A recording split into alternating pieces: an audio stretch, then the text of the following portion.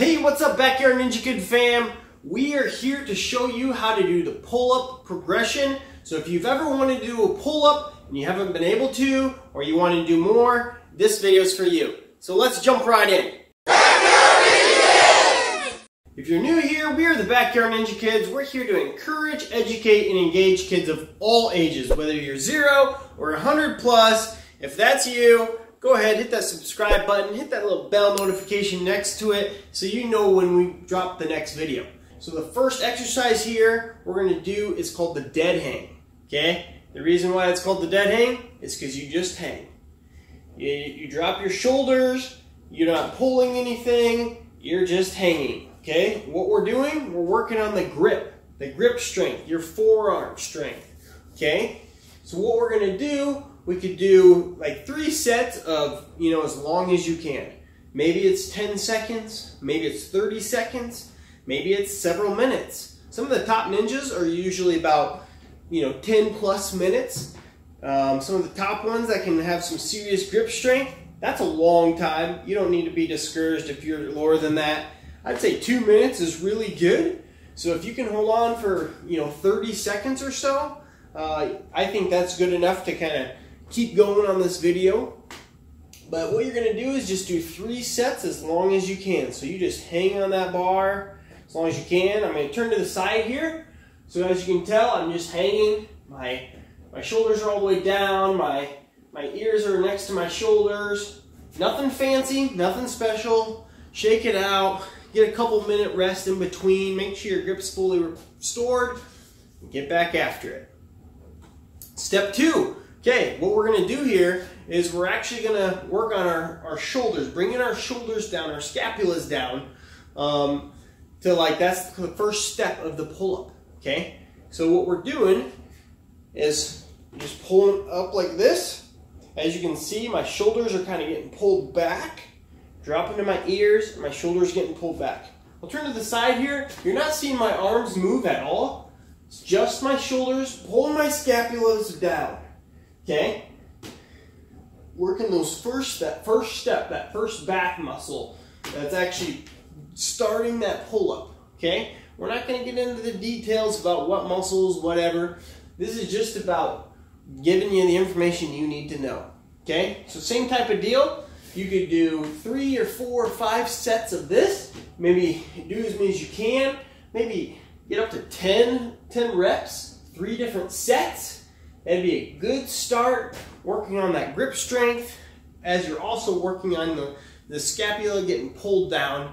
That's gonna really get that pull-up started. Step number three, what we're doing here are negatives, okay? So this is basically a reverse pull-up.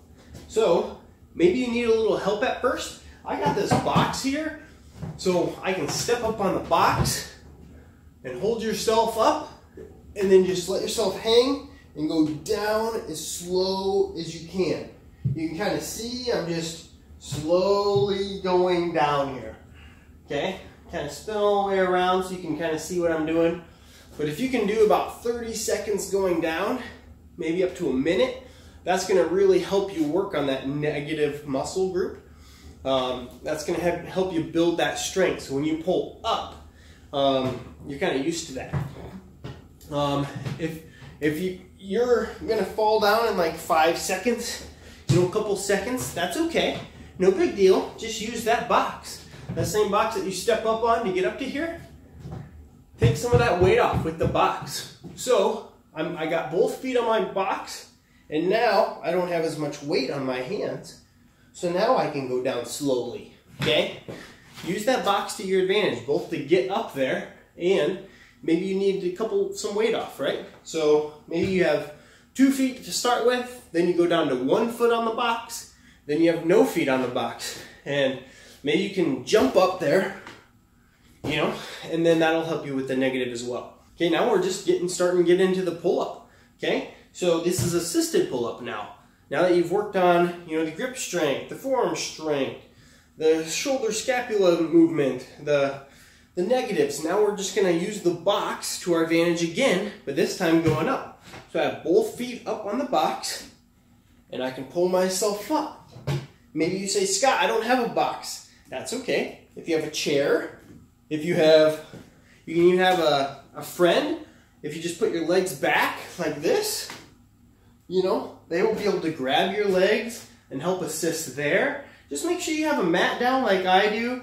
That way you're not gonna fall. If you know, if you lose your grip, you fall on a mat, you don't fall on your face on the concrete.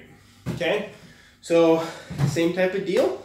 Maybe you do three, four, five sets of, you know, eight to 15 reps of pull-ups. Okay? And then, da da da da, once you have all those negatives done, you have all those pull assisted pull-ups done, now what we can do is start working on our pull-ups. Maybe at first you're getting one at a time. That's okay. In fact, that's awesome. How awesome is that? Because you couldn't do maybe any before. So now you do your pull-ups. Let's say you can crank out three pull-ups. Okay?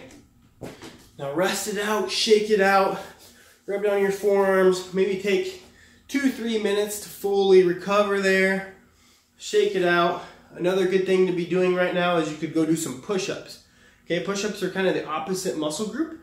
So you can work on that too, which will also help keep your whole body, you know, so you're not only working on your back, you're working on your chest, and then that way your muscles are in symmetry there, okay? So, get back into it, maybe crank out three more pull-ups, okay? And maybe you're getting stuck right here. Oh, I can't do that third one. Start over, go back to that, the, just the dead hang grip. Go back to the negatives, that really helps. Maybe you do the negative and you pause right there instead and then do that part really slow, okay? Because that again is working on that isometric hold, the slow movement hold, working on those muscle groups we need. So, anyway, I hope that helps you. If, uh, if this helped you do your first pull-up or more pull-ups, please let me know in the comments down below. We're super excited to hear from you. I don't care if it took you one day, one hour, one week, one year, one decade. Tell us how many pull-ups that you were able to do and if this information helped you. If you have any other tips, please leave them down below. There's all kinds of great tips out there, so let's share them with the community. Okay? We'll catch you in the next one. See ya!